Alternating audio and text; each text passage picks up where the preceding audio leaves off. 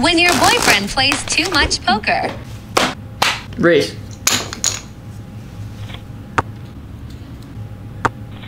Are you playing poker on your phone? Yeah, I'm just trying to get in a few extra games, okay? And your iPad too? Yeah, my expected value is positive, okay? And I'm all in. You have a gambling problem. No, I don't, okay? Give me a plane! Three planes!